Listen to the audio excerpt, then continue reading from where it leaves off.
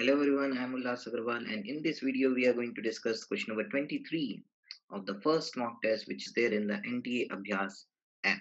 So without wasting any time, let us uh, start discussing the question. It's a very important and nice question on uh, magnetism which you can see in the screen which I have shared with you. Just hold on a second. Okay, so this is the question right in front of you. If you want, you can like pause the video and uh, see the question, read it, understand it if you have not already done it and there is a diagram also which is given for this question like this. Okay. So let me just explain you the uh, situation. Once you have like uh, uh, read the question you can just uh, go over to my explanation. So here we have got uh, uh, two magnetic field regions all right so there is a upper magnetic field region in which the magnetic field is let's say call it b naught and the lower magnetic field which is four times the magnetic field of previous one. Let's call it uh, the 4b naught. Now the boundary of these two magnetic fields that is taken to be the origin and y-axis is taken to be upward. X-axis is taken towards left uh, sorry towards right. And z-axis is out of the plane of the screen that you can see. Now what is done is a charged particle positively charged is thrown up with some velocity let's call it v naught and this v naught it is in fact given to be some pi. So pi is the velocity in meter per second. Now this charged particle is present in the magnetic field which is in k cap. So definitely this uh, charged particle is going to get a force from the magnetic field. And because its initial velocity is perpendicular to the uniform magnetic field the motion is, motion is going to be circular so the force that it is going to get is in the direction of uh, V cross B, the Lorentz force. So V is in uh, J cap initially and B is in K cap. So if you do the cross product, you will get the cross product to be in I cap, which means it's going to get the force towards I cap, which means that's where the center of the circular motion lies. And so the center of the circular motion will be somewhere, let's say here at this point B. And the charge particle is undergoing circular motion like this. So let me just complete the circle here okay. So this is how the circle will look like. Now the thing is this particle will go round the circle and ultimately it will reach uh, this point let's call this as q this point q. Now while going from this initial point let's call it o origin from to this point q how much time is taken? So that is half the time taken to complete the circle. So time period of circular motion which is 2 pi m by qb uh, so let's call this time period to be small t and B is the magnetic field. Let's call it a B naught. Okay. So the time taken to go from uh, point O to point Q along that green half circle. So that is equal to small t by 2 because half the time taken to complete the circle. So O to Q, the time is t by 2.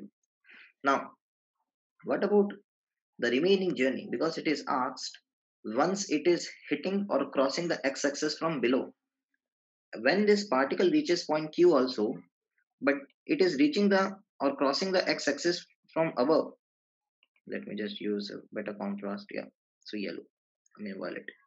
Yeah, so here the charge particle is crossing the x-axis but from top, not from the below. So while crossing Q, it's crossing from the top, which doesn't satisfy the criteria which is mentioned in the question. So let the particle travel for some more time. But the thing is, after Q, it is reaching another magnetic field which is four times. So what is the time period now in this new magnetic field? Let's say the time period is T dash. Now because this magnetic field now is four times of B naught, time period will be T by four. T by four. So the time period of circular motion in the lower magnetic field is 1 4 T by 4. What about the radius? So if previously uh, the radius was, let's call it as r. So you know the radius formula to be mv by qb. Now the magnetic field is b naught. Corresponding to that, let's say the radius is r. But now the magnetic field is becoming 4b naught. And if you replace this b naught with 4b naught, you will see that the radius will become 1 fourth, which means now the radius will become 1 fourth for the second part of the circular motion which starts from point Q.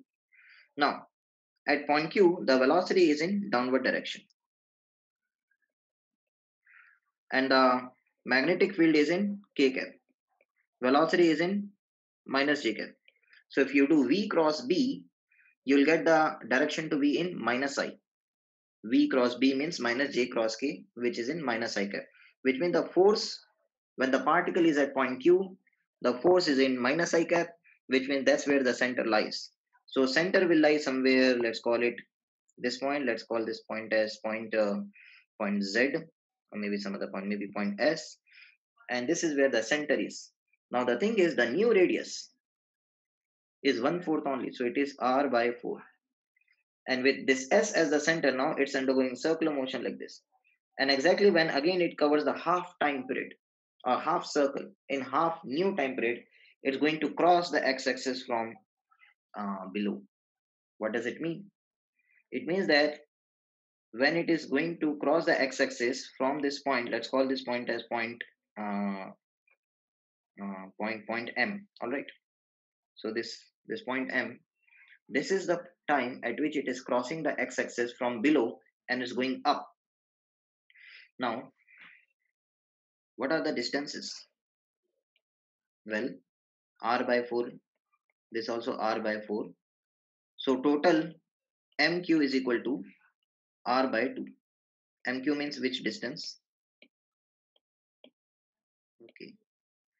mq means this entire distance or let me just put it in light color. This distance, yeah so MQ is R by 2. So when it is going to cross the x-axis from below, from point M, MQ is R by 2. So what about the other distance? The other distance is diameter minus R by 2. So diameter is 2R minus R by 2. So which is 3R by 2. So by the time this particle is going to cross the x-axis from below, uh, it has already covered a total displacement of 3r by 2 from point O. So 3r by 2 is the overall displacement in x-axis when it's going to cross the x-axis from below. Okay, so what is the displacement? Displacement is equal to 3r by 2. What is the time taken? Well, time taken is equal to how much? Well, first, this particle will go along this uh, larger circle uh, for how much time? For time t by 2. Next, it's going to go along the smaller circle. Again for semicircle only. But along this smaller circle, along this green circle, uh, sorry, red circle. And how much time is taken? Again, time taken to cover semicircle means t dash, which is the new time period by 2, which is old time period by 8. I mean, t dash by 2 is t by 8 because the new time period is one fourth of the old time period because the magnetic field become four times so time period will become 1 by 4 times so what is the total time taken total time taken is equal to time taken to go along the bigger half semicircle or half circle plus time taken to go through the smaller half circle so the total time will be equal to 5t by 8 now what is the average velocity in x direction so average velocity in x direction is equal to displacement along x direction divided by time taken. Now what is the displacement along x direction? 3r by 2. What is the time taken? 5t by 8. So overall what we are able to get is 12r by 5t. Now what is the radius? The radius is given by mv by qb and 5 is there. What about the time period? Time period is 2 pi m by qb. So this is the answer. Now the thing is, many terms are going to get cancelled out. QB, QB and MM. So, and then this 6. So we get 6V by 5 pi. Now it's given that V equal to pi. So V and pi gets cancelled out and we get 6 by 5 which is 1.2.